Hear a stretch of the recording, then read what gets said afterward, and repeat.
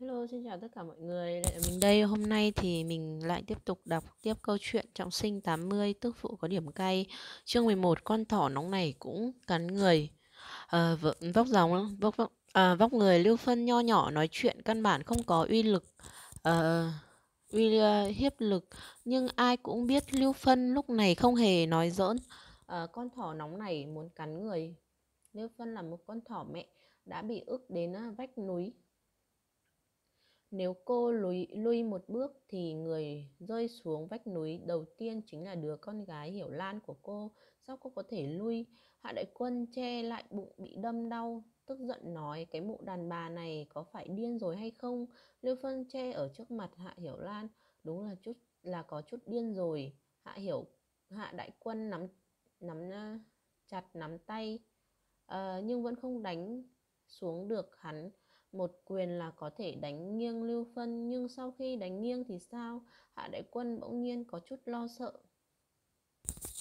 Ánh mắt ánh mắt con gái hạ hiểu lan hạ hiểu à, ánh mắt con gái hạ hiểu lan nhìn hắn lạnh như băng không hề có độ ấm. Ánh mắt của lưu phân là oán hận hận hận cùng sợ hãi. Mẹ chúng tôi ở à, chúng ta đi thôi. Hạ hiểu lan bỏ kéo xuống tiến lên ôm lấy đầu vai lưu phân à, dù người người nữ à, dù người nữ nhân này có yếu đuối cùng cùng khiếp đảm đến đâu tại một khắc vừa rồi đã vô cùng dũng cảm lưu phân che chở hạ hiểu lan khiến cho hạ hiểu lan cảm nhận được tình thân mà đời trước cô mong mà không có. Chỉ bằng điểm này chẳng sợ lưu phân lại à, thiếu hiểu biết lại khiếp đảm. À, hạ hiểu lan đều không à, thể bỏ mặc mẹ lưu dũng hung hăng nhổ một ngụm nước bọt à, thằng chó nhà họ hạ các ngươi không lấy một ai là người tốt không muốn vợ và con gái cháu ngoại gái của tao còn phải ăn vạ nhà các ngươi xin chút chút ít cơm sao hôm nay lão tử đặt lời nói ở nơi này sau này Hiểu Lan sẽ không còn quan hệ với Hạ Gia nữa. nạ Hiểu Lan 18 tuổi đã là một người trưởng thành, nông thôn Tuy rằng tin tức bế tắc, không khí bảo thủ nhưng hoàn cảnh chung của xã hội à, là cổ vũ nữ nhân tự lập, khẩu hiệu phụ nữ có thể đỉnh nửa có thể đỉnh nửa bầu trời là do thủ trưởng nói ra. Hạ Hiểu Lan muốn dọn ra ngoài sống một mình nhiều lắm sẽ bị đàm tiếu sẽ không vi phạm pháp luật càng không giống như xã hội cũ cần à, còn cần người trong dòng họ đồng ý à, cái thanh danh này vốn dĩ hạ hiểu lan đã không có. Hạ hiểu lan cường ngạnh lôi kéo lưu phân rời đi. Không phải lưu phân luyến tiếc đi mà trong ánh mắt lưu phân tràn đầy à, địch ý. Tình hình vừa rồi đã thật sự kích thích tới người nữ nhân mềm yếu này. Hạ hiểu lan lại đi tới trước mặt của bác cả hạ hồng binh. Những gì tử dục tỷ làm với cháu tương lai cháu sẽ làm rõ ràng thi đậu đại học cũng không có gì gây gớm. Sinh viên ở 8 ở 83 năm rất quý giá nhưng Hạ Hiểu Lan đời trước lại không phải thất học. À, những tri thức trong sách vở cô cũng đã quên mất hơn nửa. Rồi chờ cô sắp xếp lại cuộc sống cũng đi thi lại đại học cho xem sao. À, Hồng Binh không tự chủ được buông Lưu Dũng ra bộ dáng của Hạ Hiểu Lan rất dọa dọa người. Không ờ, không la lối khóc lóc như trước kia lại cho người ta cảm giác không được phép xúc phạm. Đó là đương nhiên, đời trước hạ hiểu lan, tốt xấu gì cũng lan lộn, làm, lên làm quản lý cao cấp của một công ty đa quốc gia. Liền tính là so la lối khóc lóc hạ hiểu lan, kiến thức rộng rãi, cũng sẽ khóc lóc cao cấp hơn người nhà họ hạ. Cô cầm kéo trong tay, có thể đặt lên trên cổ của mình chính mình cũng có thể tùy thời thọc người khác một dao. Trong tình huống bình thường, hạ hiểu lan nguyện ý dùng dùng trí lực giải quyết vấn đề mà không dùng bạo lực bởi vì cô cực cực khổ khổ mới đạt được thành công. Tại sao phải lấy ngọc ngọc thạch đi đâm vào ngạch, gạch ngói không đáng giá tiền? Nhưng hiện tại cô cũng không phải là cái gì quý giá trong ngọc thạch. Ít nhất người ta à, người khác xem cô như một người có thể tùy ý khinh nhục.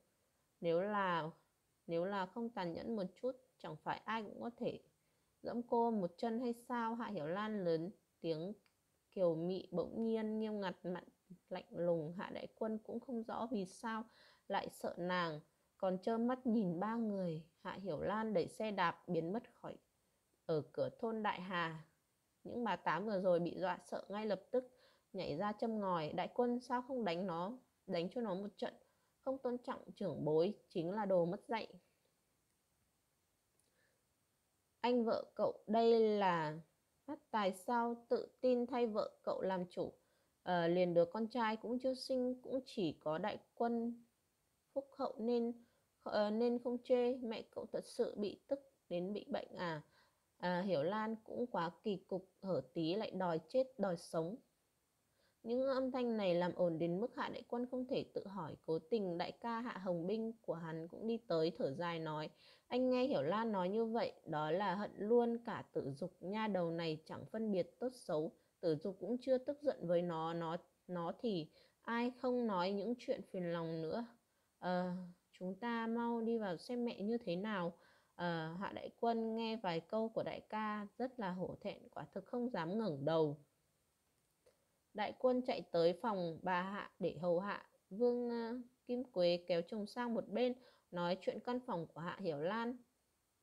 Chưa nói lưu phân có trở về hay không đã cãi, cãi nhau to như vậy với tính tình kia của hạ hiểu lan hắn sẽ không quay lại. Vương kim quế muốn chiếm lấy cái phòng kia cả nhà họ hạ cùng ở trong một căn trong một căn nhà chỗ ở không nhiều lắm hồng minh đi vào nhà hỏi han mẹ già bị bệnh trên giường. Vài câu chỉ có đứa em thứ hai mới tin là mẹ bị bệnh thật. Hạ hồng minh biết là giả nhưng sao hắn vạch trần? À, chỉ có như vậy nhị đệ mới có thể áy náy mới có thể nghe lời mẹ nói mới có thể tiếp tục giúp nhà giúp trong nhà kiếm kiếm tiền trừ bỏ cái chày uh, gỗ hạ đại quân hai anh em còn lại uh, còn lại đều tính toán của riêng mình. Vợ của hạ hồng binh là trương thúy. Ở trong phòng trông nom mẹ chồng thỉnh thoảng nói hai câu nhẹ nhàng bơ quơ. Uh, đã khơi dậy lửa giận trong lòng hạ đại quân hận không thể bắt đứa con gái bất hiếu. Là hạ hiểu lan trở về đánh no đòn trương thúy đã đốt hỏa không sai biệt lắm liền đi ra khỏi phòng.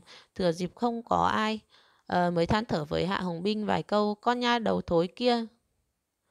Kia chạy theo cậu nó rồi tử dục bảo chúng ta phải trông chừng nó mà.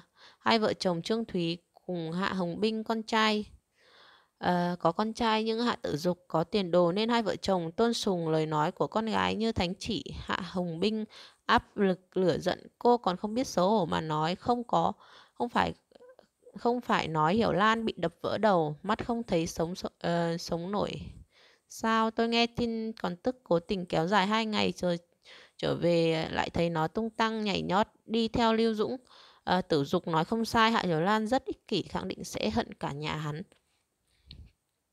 Nhưng vương vương kiến hoa chỉ nhưng vương kiến hoa thích tử dục đó là bởi vì tử dục ưu tú hạ hồng binh cũng không cảm thấy chính mình làm sai gì cả hắn à, hắn nghe con gái hạ tự dục nói về sau vương kiến hoa sẽ có tiền đồ lớn vậy thì không thể nhường cho hạ hiểu lan được. Cháu gái sống tốt chẳng nhẽ lại làm bác còn có thể thơm lây. Đương nhiên vẫn có thể để con gái sống tốt lúc đó hắn mới thật sự được nhờ cậy.